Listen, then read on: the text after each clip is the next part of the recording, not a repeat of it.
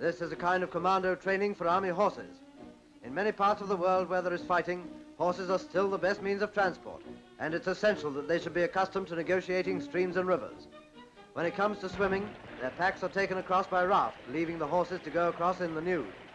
If you've seen any of those pictures of battle training for troops, it looks as if it's the horses that have the easy time.